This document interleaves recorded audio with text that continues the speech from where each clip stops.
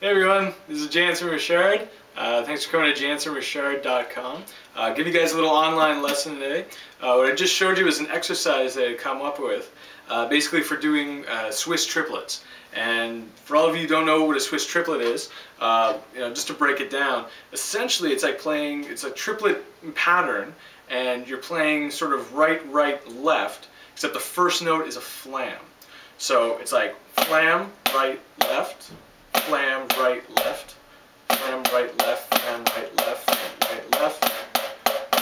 So it's like right, right, left, but there's a flam on the first note. And if, because it's a pattern in three, um, you can play with your left hand as well too. So it's left hand one. So show you the right one.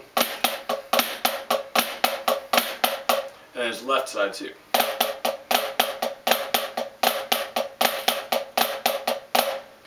And the thing is that I, I really struggle, I mean, whichever one is your dominant hand, whether you're a righty or a lefty, um, that's usually one that's going to be a lot stronger with. I'm, because I'm right-handed, play you know, right-handed Swiss triplets a lot easier than I play left-handed Swiss triplets. But it's really important that you want to, you know, you want to focus on both of them um, and strengthening it up. You know, you don't want to focus all on the right hand or on your dominant hand. If you're a lefty, you want to be playing left-handed Swiss triplets all the time. So the exercise that I showed you there um, was just a little thing for basically coming up with you know transitioning between the two. And the way it works is that you basically play you can start off either with the left hand or the right hand. But you play I mean I'll start with the right hand here. And what you want to do is play basically two Swiss triplets so like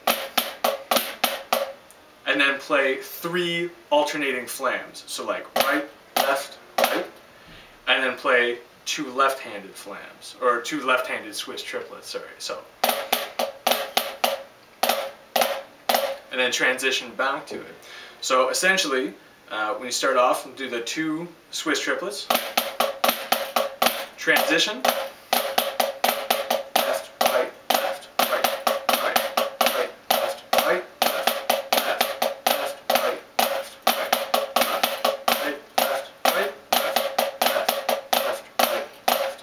When you get it up to speed, you know, you're working, equally working your right-handed flams and your left-handed flams as well. Your right-handed Swiss triplets and your left-handed Swiss triplets. So you can get it going pretty fast too. Like.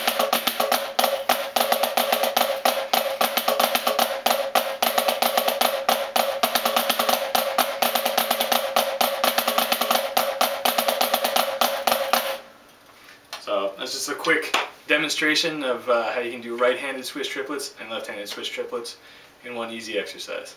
Take it easy. Thanks again for coming.